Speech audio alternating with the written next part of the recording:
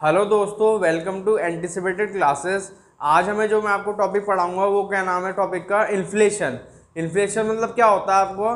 ठीक है, आपको लग रहा होगा पता नहीं कैसा अजीब सा टॉपिक का नाम बता दिया। इन्फ्लेशन कुछ नहीं है, इन्फ्लेशन आपको होता है महँगाई। ठीक है, जो आपकी महँगाई बढ़ती है ना, जो आपको जो असेंशियल गुड्स का जो प्राइस होता है सर्विसेज़ का, जब वो बढ़ जाता है ना, वो उसके बारे में डिस्कस करना है। महँगाई को ही हम क्या बोलते हैं? इन्फ्लेशन बोलते हैं। मतलब कि increase in general price level of goods and services ठीक है? तो वो क्या कहलाएगा? आपका इन्फ्लेशन कहलाएगा। यानी कि जो आपके असेंशियल गुड्स एंड सर्विसेज़ के जो प्राइस होते हैं ना, जब उनका जो दाम होता है असेंशियल गुड्स एंड सर्विसेज़ का, जब वो बढ़ जाता है ना साठ दस साल की अगर हम बात करें तो उसे ही हम क्या बोलते हैं? इन्फ्लेशन बोलते हैं। मतलब कि महँगाई बोलते हैं आपका। ठीक है? तो इसमें ये बताया गया और अभी मैं इसके बाद आपको इसके एग्जाम्पल्स के द्वारा इसको और बेहतर क्लियर करूँगा आपको, किसको? इन्फ्लेशन को। अब हम दोस्तों आगे जान लेते हैं इन्फ्लेशन के एग्ज़ाम्पल दे लेते हैं। मतलब महँगाई के जो एग्जाम्पल्स है ना, ठीक है? जो आपके दाम बढ़ते हैं, साल दर साल। इन्फ्लेशन में क्या होता है कि एक साल का नहीं स्टेट लेते हैं इसमें। इसमें क्या देखते हैं? जो साल दर साल किसी एक प्राइस के दाम बढ़ने चाहिए, साल दर साल। ठीक है तो इसको जान लेते हैं। देखो, काउ, ये आपका 1947 की अगर बात करते हैं, उसमें जो आपका जो गाय का दूध है, वो कितने रुपए का था? ज़ीरो पॉइंट वन टू का था, अगर सपोज़ करो। और पेट्रोल उस टाइम पे कितने का था? Rupees zero point two seven का था। और सिनेमा टिकट कितने आपके? रुपीज़ ज़ीरो पॉइंट थर्टी का था। उसके बाद जब 1975 की बात करें तो वो महँगाई बढ़ी वहाँ से। ठीक है मतलब आपका क्या हुआ? इन्फ्लेशन बढ़ा। ठीक है तो कितना हुआ वो 1975 में? गाय का दूध हो गया rupees two point five zero का। और पेट्रोल का कितना दाम हो गया? वन पॉइंट सेवेंटी का हो गया। और सिनेमा टिकट कितने की हो गई आपकी तीन रुपए की हो गई। तो ये है। अब ऐसे 2019 की अगर बात करते हैं, जो अभी है लेटेस्ट ईयर जो हमारा जो अभी गया है, इसमें जो गाय का दूध है, वो कितना रुपीज़ फोर्टी सिक्स का समझ लेते हैं। पेट्रोल आपका कितना बढ़ गया? यहाँ से देखो कितना बड़ा आंकड़ा एकदम से बढ़ा है। टू पॉइंट फिफ्टी से कितना हो गया? डायरेक्ट फोर्टी सिक्स हो गया। और 1.70 से आपकी जो महँगाई है पेट्रोल की, कितना बढ़ गया पेट्रोल? 68 हो गया। सिनेमा टिकट जो तीन रुपए की मिलती थी 1975 में, वो कितनी हो गई? अब तीन सौ रुपये की हो गई टिकट। तो ऐसे में आप यहाँ से क्या देख रहे हैं कि आपकी जो महँगाई है ना, वो बढ़ रही है धीरे धीरे तो जब महँगाई बढ़ती है ना, उसे ही हम क्या बोलते हैं? इन्फ्लेशन बोलते हैं। इन्फ्लेशन में क्या होता है कि decrease in purchasing power of currency घट जाती है। लेकिन हम किस, वो क्या होता है, जो जनरल प्राइस का जो दाम होता है ना, आपका वो बढ़ जाता है। मतलब कि जो सौ रुपये नोट की वैल्यू जो 1947 में थी ना, वो 2019 में वो सौ रुपये की वैल्यू कुछ नहीं है। तो ये है कि इसमें इसका सारा प्रोसेस है आपका इन्फ्लेशन का। अभी हम इसका एक एग्ज़ाम्पल और जानेंगे किसका इन्फ्लेशन का। अब दोस्तों, हम एक और एग्ज़ाम्पल देख लेते हैं इन्फ्लेशन का, ठीक है? देखो, यहाँ पे क्या है?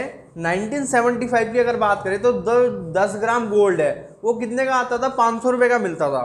और अगर मनी की बात करें, उस टाइम हमारे पास अगर सपोज़ करो आपके पास पचास हज़ार रुपये हैं, ठीक है? तो पचास हज़ार रुपये हैं तो अगर आप इन दोनों की वो जोड़ दो इनकी मल्टीप्लाई करा तो कितना आपको सोना मिल जाएगा? उस टाइम पे 1975 में कितना मिल जाता है आपको? हज़ार ग्राम गोल्ड मिल जाता आपको आराम से ठीक है? अब अगर हम बात करें 2019 की उसमें जो 10 ग्राम सोने की जो कीमत है वो कितनी है? तैंतीस हज़ार रुपये है। और अगर आपके पास कितने पैसे हैं? पचास हज़ार रुपये वही आपके पास पचास हज़ार रुपये हैं। तो उसमें आप कित, आपको कितना सोना मिलेगा? खाली पंद्रह ग्राम सोना मिलेगा मतलब कि आपको डेढ़ तोला ही मिल पाएगा। तो इसमें क्या हम देख सकते हैं कि जो आपकी महँगाई दरें हैं, वो बढ़ रही हैं। मतलब कि जो सौ रुपये नोट की वैल्यू 1975 में थी ना, वो 2019 में बराबर नहीं है वो। ठीक है तो ये किसके एग्जाम्पल्स हो गए? इन्फ्लेशन के, कि मतलब कि महँगाई दरें बढ़ी रही हैं। अब हम दोस्तों आगे जान लेते हैं। मैं आपको इन्फ्लेशन तो मैंने बता दिया आपको। एग्जाम्पल्स भी समझा दिए उसके। अब मैं आपको समझाता हूँ डिफ्लेशन क्या होता है? डिफ्लेशन इन्फ्लेशन का जस्ट क्या है? उल्टा है उसका। तो डिफ्लेशन क्या है? Decrease in general price levels of goods and services मतलब कि जब चीज़ों के जो दाम है, जब वो घट जाते हैं ना, ठीक है? तो क्या हम उसे क्या बोलते हैं? डिफ्लेशन बोलते हैं। ठीक है? कि आपकी महँगाई जो आपकी महँगाई दरें हैं, साल दर साल वो घट रही हैं तो उसे हम क्या बोलेंगे? डिफ्लेशन बोलेंगे। ठीक है? अब मैं आपको एग्ज़ाम्पल वही वाला लेते हैं। आपको बताता हूँ उसके क्या एग्ज़ाम्पल समझाता हूँ उसके। ठीक है? देखो। सेम वही लिया हमने। अब इसमें यहाँ पे क्या हो जाता है? 2020 में 2019 तक जो प्राइस था वो बढ़ रहा था आपका। 2020 में आते आते वो प्राइस घट गया, देखो यहाँ पे। भाई, जो आपका गाय का दूध था काउ मिल्क था आपका, वो 46 से 2020 में कितना हो गया? पैंतालीस रुपये का हो जाता है सपोज़ करो। ठीक है? पेट्रोल के जो दाम आपके 68 हैं 2019 में, अगर वो 66 हो जाता है मतलब कम हो गया वो। और ऐसी जो सिनेमा टिकट है, वो 300 से कितना हो जाता है? 280 हो जाता है। ठीक है? तो ऐसे में हम क्या देख सकते हैं कि जो आपकी जनरल प्राइस है ना गुड्स एंड सर्विसेज़ का, वो कम हो रहा है। तो हम उसे हम क्या बोल सकते हैं? डिफ्लेशन बोल सकते हैं। और ये इसका क्या हो जाएगा? एग्ज़ाम्पल हो जाएगा। तो आपको होपफुली समझ आ गया हो दोस्तों डिफ्लेशन क्या है? एग्ज़ाम्पल क्या है? तो ये इसमें पूरा बताया गया। अब इसके आगे हम और चीज़ें जानेंगे इसमें। हेलो दो, अब दोस्तों क्या जानते हैं आगे? कि हम जानते हैं कॉसे कॉजेज ऑफ़ इन्फ्लेशन जान लेते हैं। पहला आता है आपका कॉस्ट पुश इन्फ्लेशन ठीक है? देखो, अब दोस्तों मैं आपको बताता हूँ, जैसे किसी भी सामान को बनाने में क्या है? रॉ मटेरियल जाता है। ठीक है रॉ मटेरियल मतलब कि जैसे आपके ऑयल के प्राइसेस हैं। ऑयल के प्राइसेस आपके एकदम से बढ़ जाते हैं। ठीक है तो इसमें तो सरकार भी कुछ नहीं कर सकती। वो तो इंटरनेशनल मार्केट पर डिपेंड करता है आपका। ऐसी लेबर कॉस्ट है। लेबर कॉस्ट एकदम से इंक्रीज हो जाती है। तो उसमें किसी भी एक पर्टिकुलर जो टेक्नोलॉजी है आपकी, वो वो क्या, उसमें बहुत कम लोग अवेलेबल है। तो उसकी जो कॉस्ट है एकदम से बढ़ जाती है। या रियल इस्टेट कॉस्ट है। किसी एक पर्टिकुलर अगर शहर की बात कर लें सिटी की बात कर लें, उसमें जो रियल इस्टेट की कॉस्ट है वो एकदम से इंक्रीज़ कर सकती है, बढ़ जाती है वो। तो एक पर्टिकुलर प्रोडक्ट में ये सारी चीज़ें इंक्रीज हो सकती हैं। अभी मैं इसके बाद आपको इसकी क्या बताऊँगा? कॉस्ट पुश इन्फ्लेशन के एग्ज़ाम्पल समझाऊँगा। अब हम दोस्तों क्या जान लेते हैं? कॉस्ट पुश इन्फ्लेशन के एग्ज़ाम्पल मैं आपको बताता हूँ, ठीक है? अगर सपोज़ करो कोई एक पिज़्ज़ा मैन्युफैक्चर है या कोई रेस्टोरेंट है जो पिज़्ज़ा बनाता है अगर सपोज़ करो उसका रॉ अगर वो, अगर क्या होता है मार्केट में रॉ मटेरियल है लेबर कॉस्ट है और रियल इस्टेट की कॉस्ट बढ़ जाती है तो वो ये सारी कॉस्ट आगे पास करेगा पिज़्ज़ा मैन्युफैक्चर पिज़्ज़ा मैन्युफैक्चर किसे पास करेगा? कंज्यूमर को। लेट से अगर कोई एक सपोज़ करो चार सौ रुपये का पिज़्ज़ा है, ठीक है? तो अगर सपोज़ करो कि अगर लेबर कॉस्ट है रॉ मटेरियल कॉस्ट होती है आपकी, या आपकी कौन सी रियल इस्टेट की कॉस्ट बढ़ जाती है। तो वो जो चार सौ रुपये का पिज़्ज़ा है वो उसे पिज़्ज़ा मैन्युफैक्चर को कितने का पड़ेगा? साढ़े चार वो चार सौ चालीस का पड़ेगा। और या, या सपोज़ करो अगर वो दस परसेंट इंक्रीज़ करता है तो दस परसेंट अगर इंक्रीज़ करेगा तो वो जो चार सौ रुपये का पिज़्ज़ा है वो उसे पिज़्ज़ा मैन्युफैक्चर को कितने का पड़ेगा? चार सौ चालीस का पड़ेगा। तो अगर वो अब भाई वो भी अपना उसमें मुनाफा ऐड करेगा पिज़्ज़ा मैन्युफैक्चर जो पिज़्ज़ा बनाने वाला है तो जो चार सौ चालीस का पिज़्ज़ा है वो कितने का बेचेगा आगे? चार सौ पचास का। किसे पड़ेगा? 450 का किसे पड़ेगा? वो कस्टमर को पड़ेगा। या वो दूसरा काम जो पिज़्ज़ा मैन्युफैक्चर है वो ये भी कर सकता है कि वो चार सौ रुपये ही दाम रखे उस पिज़्ज़ा का लेकिन वो उसका साइज़ कम कर देगा। तो दोस्तों इसमें आप क्या देख सकते हो कि ऐसे में क्या हो रहा है? आपकी जो इन्फ्लेशन जो आपकी महँगाई है वो धीरे धीरे बढ़ी रही है। ठीक है? तो किसमें बताया गया? ये कॉस्ट पुश इन्फ्लेशन में। इसके बाद हम इसका दूसरा दोस्तों आगे जान लेते हैं हम डिमांड पुल इन्फ्लेशन के बारे में। ठीक है? तो इसमें क्या है आपका? More money chasing fewer goods. मतलब इसमें क्या है? अगर लोगों के पास सपोज़ करो ज़्यादा पैसा आ जाता है और गुड्स अगर लिमिटेड है तो भी जो आपकी महँगाई है जो भी आपका जो इन्फ्लेशन है वो बढ़ता ही है। सपोज़ करो जैसे हम ही हैं या कोई भी एक पर्सन है उसकी उसके पास और ज़्यादा पैसा कैसा आ सकता है आपके पास? अगर सपोज़ करो किसी के पास बीस हज़ार रुपये हैं अगर वो बी अगर, अगर वो बीस हज़ार से बढ़ के तीस हज़ार हो जाता है due to increase in their salary उसकी सैलरी बढ़ गई।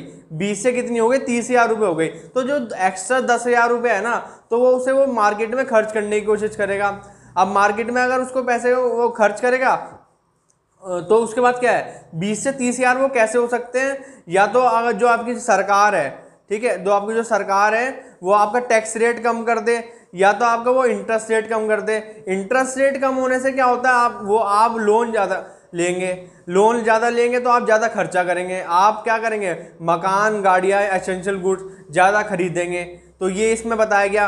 अब इसमें क्या जैसे मोर मनी ज़्यादा पैसा है और लिमिटेड सप्लाई है, तब भी जो प्राइसेस क्या जो हो जाते हैं? हाइयर हो जाते हैं। तो हमने क्या जाना है इसमें? डिमांड पुल इन्फ्लेशन में भी क्या होता है? आपकी जो महँगाई दरें होती है, वो भी इसकी बढ़ती हैं। तो ये किसमें बताया गया? डिमांड पुल इन्फ्लेशन के अंदर। अब दोस्तों हम क्या जान लेते हैं? गवर्नमेंट की जो पॉलिसीज़ होती है ना, उसको जान लेते हैं। इसमें भी क्या है? सेम ही है more money chasing fewer goods इसमें भी मतलब यही है, आपकी बताएँगे कि आपकी जो महँगाई दर है, वो बढ़ती है। गवर्नमेंट प्रिंट्स मोर मनी अब सरकार कहती है कि हम ज़्यादा पैसे प्रिंट करेंगे। लेट से ले लेते हैं, जैसे दस लाख करोड़ की प्रिंटेड करेंसी है हमारी। अब सरकार बोलती है कि हम, मैं क्या, हम क्या करेंगे? बारह लाख करोड़ की जो प्रिंटेड करेंसी है, वो मार्केट में लेके आएँगे। अब जो ये 20 परसेंट की जो बढ़ोतरी हुई है ना, ये जो पैसा है, ये कहाँ जाएगा? ये भी आपका दोस्तों इकोनॉमी के अंदर ही आएगा। तो ऐसे में क्या है? ज़्यादा पैसे लिमिटेड गुड तो ऐसे में भी क्या हो रहा है? आपका जो इन्फ्लेशन है, आपकी जो महँगाई है, वो भी आपकी बढ़ी रही है। तो ये किसमें? गवर्नमेंट पॉलिसी में। इसके बारे में थोड़ा सा और जानेंगे भी हम। अब दोस्तों हम क्या जान लेते हैं? थोड़ा सा इसके बारे में देखते हैं। लोअर रिक्वायरमेंट फॉर बैंक जैसे सी आर आर है एस एल आर है और रेपो रेट्स हैं। ये मैंने आपको इससे वाली पहली वाली वीडियो में आपको मैंने बताया था ये सारी चीज़ें क्या होते हैं आरबीआई में तो वो डिस्क्रिप्शन में गिवन है। आप वहाँ से आके हमारी वीडियो वाली देख सकते हैं। ठीक है? अब इनकी रिक्वायरमेंट अगर कम हो जाती है ना तो बैंक क्या करता है? आपको ज़्यादा लोन देता है। मतलब बैंक के पास ज़्यादा पैसा आ जाता है। बैंक के पास अगर ज़्यादा पैसा आ जाएगा तो वो क्या देगा? ज़्यादा लोन देगा। लोन ज़्यादा देगा तो लोग लो, क्या करेंगे? लो, लोग लोन लेंगे। ठीक है लोन लेने से क्या होगा? वो ज़्यादा खर्चा करेंगे, उनके पास ज़्यादा पैसा आ जाएगा। वो ऐसे में क्या है? वही ये बात आ जाती है मोर मनी और लिमिटेड सप्लाई ऐसे में क्या होता है? हाई प्राइजेस का जो दाम होता है, वो बढ़ जाता है। तो वही है, इसमें भी क्या है? आपकी महँगाई दर है, आपकी बढ़ ही रही है। अब दोस्तों, मैं आपको आगे बताता हूँ, कैसे जो आपकी महँगाई है, कैसे वो आपको प्रभाव डालती है आपके ऊपर। ठीक है? हाउ इन्फ्लेशन इम्पैक्ट्स यू ठीक है? आप सपोज़ करते हैं कि जैसे आपकी जो इनकम ग्रोथ है, वो अगर ज़्यादा है इन्फ्लेशन से मतलब सपोज़ करो लेट से आपकी बीस हज़ार रुपये की सैलरी है, और वो बढ़ के अगले साल कितने की हो जाती है? बाईस हज़ार बाईस हज़ार रुपये की हो जाती है। तो ऐसे में क्या होता है? और अगर इनकम ग्रोथ कितने का है? दस परसेंट का है, और इन्फ्लेशन कितना है? सात परसेंट है। तो ये आपके लिए दोस्तों खुशी वाली बात है। और तो ऐसे में क्या है? अब जैसे समझ लेते हैं कि आपके लिए क्या ये खुशी वाली बात है, आपको हमेशा इसमें ही होना चाहिए। अब जैसे समझते हैं कि जैसे अगर आपकी इनकम ग्रोथ बराबर है इन्फ्लेशन से मतलब कि अगर इनकम ग्रोथ सात परसेंट है, आपकी और इन्फ्लेशन कितना है, वो भी सात परसेंट का महँगाई भी इतनी है और इनकम ग्रोथ भी इतनी है। तो ऐसे में आपके लिए ये ज़्यादा खुशी वाली बात भी नहीं है और ज़्यादा वरी वाली बात भी नहीं है। तो अगर हम बात कर लेते हैं, अगर आपकी इनकम ग्रोथ कम है इन्फ्लेशन से मतलब कि इनकम ग्रोथ आपकी चार परसेंट है इन्फ्लेशन सात परसेंट है इन्फ्लेशन ज़्यादा है मतलब महँगाई ज़्यादा हो चुकी है और आपकी इनकम ग्रोथ कम है तो आपके लिए दोस्तों एक खुशी वाली बात बिल्कुल नहीं है। तो आपका हमेशा टारगेट होना चाहिए दोस्तों, कि आप हमेशा इस वाले ब्रैकेट में आए, हमेशा इधर ही रहें आप। आपकी हमेशा इनकम ग्रोथ ज़्यादा ही होनी चाहिए, किससे? महँगाई से। ताकि तो तभी तो आप अपने सारे खर्चे कर पाएँगे। ठीक है? तो आप अपनी स्किल्स को इतना बेहतर बनाइए, कि आप हमेशा यहीं पे आए। आपकी इनकम ग्रोथ हमेशा ज़्यादा ही रहे। तो ये किसमें बताया मैंने आपको? कैसे जो आपकी महँगाई होती है, कैसे आपको प्रभाव डालती है आपके ऊपर। अब दोस्तों हम क्या जान लेते हैं, आगे देख लेते हैं। हाउ टू कंट्रोल इन्फ्लेशन महँगाई को कैसे हम कंट्रोल कर सकते हैं। ठीक है, पहले जान लेते हैं मॉनेटरी पॉलिसी है इसकी। ठीक है, देखो हायर इंटरेस्ट रेट अगर आपका इंटरेस्ट रेट ज़्यादा है, अगर कोई बैंक सपोज़ करो किसी को लोन दे रहा है, उसका इंटरेस्ट रेट ज़्यादा है, उसने ज़्यादा ब्याज दरों पे लोन दिया है किसी को, उससे क्या होता है, जो डिमांड होती है ना लोन लेने की, वो कम हो जाती है। Reduce demand in the economy economy के अंदर जो डिमांड होगी ना लोन लेने की, वो कम हो जाएगी। उसका कारण क्या है? क्योंकि जो ब्याज दरें हैं, वो ज़्यादा हैं। तो लोग क्या करते हैं? ब्याज दरों से बचते हैं ना। वो चाहते हैं कि हम अगर हम लोन ले रहे हैं तो ब्याज दरें कम होनी चाहिए। तभी तो लोन लेगा ना कोई। ज़्यादा ब्याज दरों से लोग लोन लेने से कतराते हैं। लीडिंग टू लोअर इससे क्या होता है कि आपकी जो इकोनॉमिक ग्रोथ होती है, वो कम हो जाती है। और लोअर इन्फ्लेशन आपका इन्फ्ले जो महँगाई की दरें हैं, वो कम हो जाती हैं। तो ये बताया गया इसमें। अब दोस्तों क्या जान लेते हैं? हाउ टू कंट्रोल इन्फ्लेशन मतलब महँगाई की कैसे कंट्रोल करा जाए, इसका दूसरा पॉइंट क्या है? कंट्रोल ऑफ़ मनी सप्लाई आप क्या करो, पैसे की जो सप्लाई है, उसको कंट्रोल करेंगे। ठीक है मोनिटरिस्ट कौन होते हैं? ये इकोनॉमिक्स होते हैं आपके। इनका ये क्या आर्ग्यू कर रहे थे? क्या देर वो क्या बोलते हैं? कि that there is a close link होता है किसके बीच में? मनी सप्लाई जो पैसे की जो सप्लाई होती है, और महँगाई के बीच में बहुत बड़ा क्या है? क्लोज लिंक है। There for controlling money supply आप जो मनी की जो सप्लाई उसको जो कंट्रोल करना है, उससे भी हम क्या कंट्रोल कर सकते हैं? जो पैसे की सप्लाई को अगर कंट्रोल कर लो ना, उससे भी जो आपकी महँगाई दरें हैं ना तो भी वो क्या हो जाएँगी? कम हो जाएँगी। कंट्रोल हो जाएँगी वो आपसे। ठीक है? तो ये इसमें बताया गया है। अब दोस्तों, इस वीडियो का लास्ट टॉपिक समझ लेते हैं कोर इन्फ्लेशन ठीक है? इसको जान लेते हैं। इट इज़ द इन्फ्लेशन ये ऐसी महँगाई है आपकी, इन सारे सेक्टर की अगर हम बात करें excluding the food and fuel sector मतलब क्या है? ये ऐसी महँगाई है, ये इन वाले सेक्टर्स में होती है मतलब जैसे आपका फ़ूड है और जो फ्यूल सेक्टर है, ये इस वाले में इंक्लूड नहीं होता आपका। क्यों? क्योंकि फ़ूड और फ्यूल सेक्टर कैसे है? बहुत ज़्यादा वॉलाटाइल है सेंस ये क्या है? सेंसिबल इशूज़ हैं। ठीक है? गवर्नमेंट को इसमें हेल्प देनी पड़ती है। ठीक है? तो ये इस पूरे, इस वीडियो का लास्ट टॉपिक है आपका।